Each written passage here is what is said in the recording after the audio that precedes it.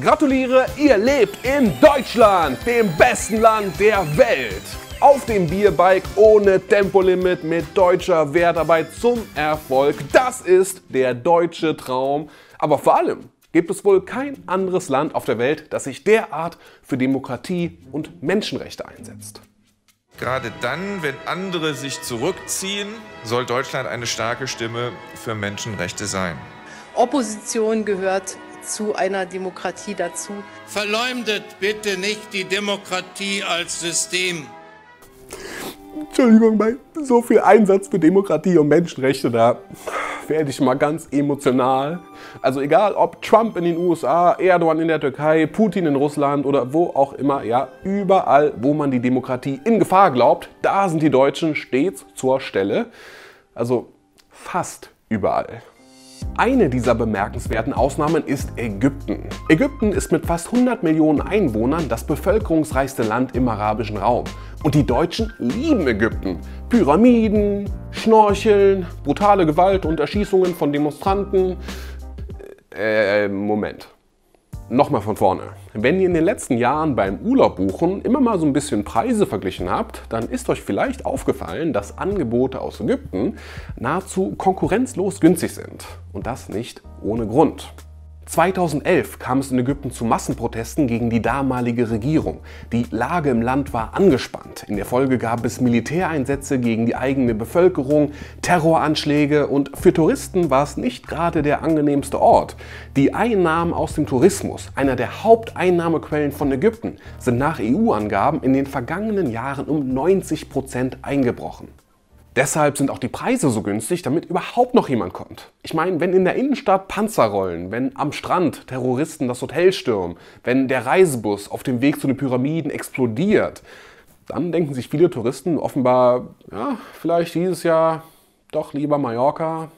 Ägypten erlebt einfach eine wahnsinnig schwierige Zeit. Und an der Spitze steht der Präsident Al-Sisi. Al-Sisi kam ursprünglich nicht durch eine Wahl, sondern durch einen Militärputsch an die Macht. Er war früher Armeechef Ägyptens und als 2013 politische Gegner von ihm in großer Zahl demonstrierten, ließ Al-Sisi die Armee auf die Demonstranten los und über 1000 Menschen wurden in einem Massaker getötet. Ja, das ist der Typ, dem Angela Merkel hier so freundlich die Hand schüttelt. Wer ihm im Weg steht, wird kaltgestellt. Rund 60.000 Menschen sitzen in Ägypten als politische Gefangene in Haft. In Al-Sisis bisheriger Amtszeit wurden 16 neue Gefängnisse gebaut, damit man diese ganzen Leute überhaupt irgendwo unterbringen kann. Die ägyptische Verfolgungswut macht selbst vor arglosen Touristen nicht mehr Halt. Eine Touristin hatte sich in einem Facebook-Video über die permanente sexuelle Anmache und die betrügerischen Schlepper in Kairo beklagt. Bei der Ausreise am Flughafen wurde sie festgenommen. Jetzt sitzt sie in Haft. Acht Jahre soll sie dafür büßen, dass sie nach Ansicht des Gerichts falsche Gerüchte über Ägypten in die Welt setzte.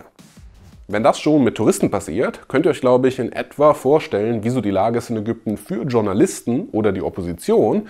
Also kritische Journalisten werden verhaftet, unbequeme Medien werden verboten und bei der letzten Präsidentschaftswahl wurden tatsächlich alle Kandidaten, die es sich erlaubten, gegen Al-Sisi anzutreten, entweder direkt verhaftet oder aber sie wurden dazu gezwungen, ihre Kandidatur zurückzuziehen.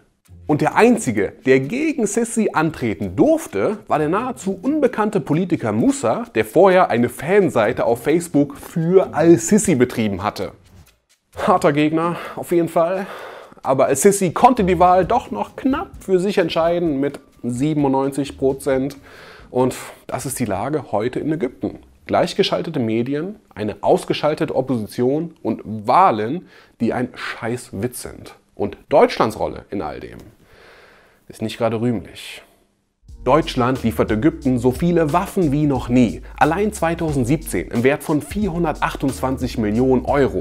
Auch deutsche Waffen sichern die Macht vom Autokraten Al-Sisi. Der deutsche Wirtschaftsminister reiste Anfang des Monats sogar mit einer Wirtschaftsdelegation offiziell nach Ägypten, um zu erörtern, wie deutsche Unternehmen in Al-Sisis Unterdrückerstaat ordentlich mitverdienen könnten. Bemerkung am Rande übrigens, genau dieser Minister ist auch dafür zuständig, die deutschen Waffenexporte nach Ägypten zu genehmigen. Und auf die Frage, warum verdammt nochmal Deutschland überhaupt Waffen in Länder liefert, in denen Menschenrechte so ungefähr den Status eines Mario Bartwitzes haben, auf eben diese Frage entgegnete eben dieser Wirtschaftsminister bereits im letzten Herbst Folgendes. Ich kenne kein Land, das deshalb, weil Deutschland gesagt hat, wir exportieren euch nichts, äh, dann diese Rüstungsgüter nicht bekommen hätte. Weil es andere Länder gibt in der Europäischen Union, in den USA, äh, in China, in Russland und anderswo, die die Lücke füllen und diese Kriegsgüter exportieren. Das ist die niederschmetternde Antwort, die man von unserer Regierung bekommt. Dass man sagt, ja, wenn wir es nicht verkaufen, dann verkauft es ja jemand anderes. Das macht ja keinen Unterschied. Doch, es macht einen Unterschied. Du zynische demokratische Bankrotterklärung auf zwei Beinen. Der Unterschied, wenn wir es nicht machen, ist, dass wir es nicht machen.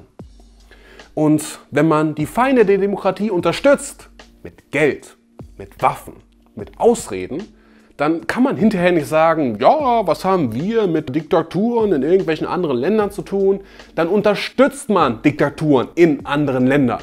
Und genau dadurch zerstört man letztlich auch das Vertrauen in die eigene Demokratie im eigenen Land.